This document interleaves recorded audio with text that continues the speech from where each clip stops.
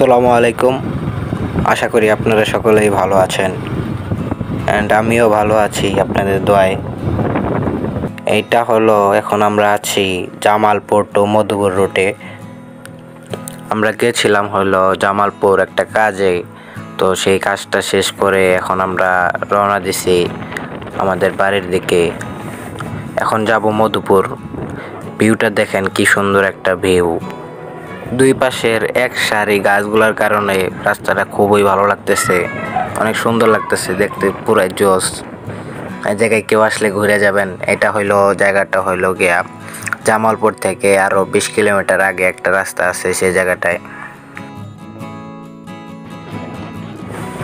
এখন আমরা হাইওয়ে রোডে উঠে গেছি, এটা হইল Jamalpur to Madhupur road, highway road. এই রাস্তাটা অনেক সমান, দেখতে অনেক ভালো লাগে। রাস্তাটাতে মানে টানাটানি করতে ভালোই মজা পাবেন, যাই হোক। তো চলেন, রাস্তাটাতে কোনো ভাঙ্গা ভঙ্গা নাই, এই জন্য অনেক ভালো লাগে রাস্তাটা। আপনাদেরকে নিয়ে চলি, চলেন যাই। তো একটু টানাটানি করা যাক, দেখা যাক।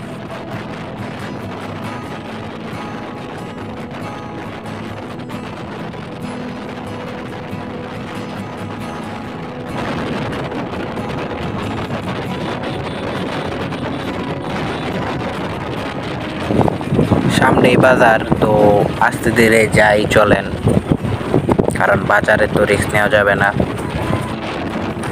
যাওয়ার সময় একটা অ্যাক্সিডেন্ট দেখে গেছি, জামালপুর টু মধুপুর রুটে একটা ট্রাক পুরাই মানে খাদে পড়ে গেছে। তো যাই হোক, কেউ লিমিটের বাইরে গাড়ি চালাবেন না।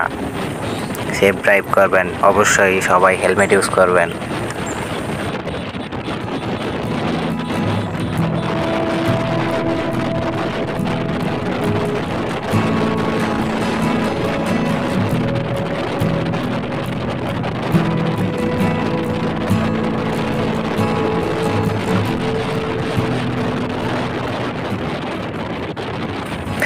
রাস্তাটা খুবই ভালো, দেখতে অনেক চমৎকার।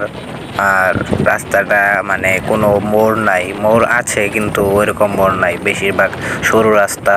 তো রাস্তাটা আসলে ভিউটা দেখেন পুরাই, আপনারাও দেখতে পারতেছেন যে রাস্তাতে কোনো সমস্যা নাই। তো যে কেউ এসে সেরা এই জায়গায় রাস্তার প্রেমে পড়ে যাবেন।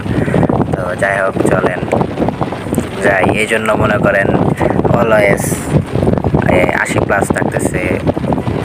তো যাই হোক। সামনেই পুলিশ মামারা বসে আছে, তো তাদের থেকে মানে কাটায় কোটায় চলে যেতে হবে, তাদের সামনে পাওয়া যাব না জানেনি তো। আর এটা লাইসেন্স নাই লাইসেন্স ছাড়া বাইক এটা মানে করতে দিছে লাইসেন্স এখনও নাম্বার প্লেট আসে নাই, যার কারণে সমস্যা। তো পুলিশের সামনে তো পড়াই যাবে না, যার কারণে একটু গ্যাপ গুপ মাইরা চলে যেতে হবে। তো ভিডিওটা বেশি বড় করব না, ভিডিওটা ভালো লাগলে অবশ্যই লাইক কমেন্ট অ্যান্ড শেয়ার করবেন। আর আমার পেজটাকে সবাই লাইক করে দেন তো সবাই ভালো থাকবেন। আল্লাহ হাফেজ। অ্যান্ড আমার জন্য দোয়া করবেন।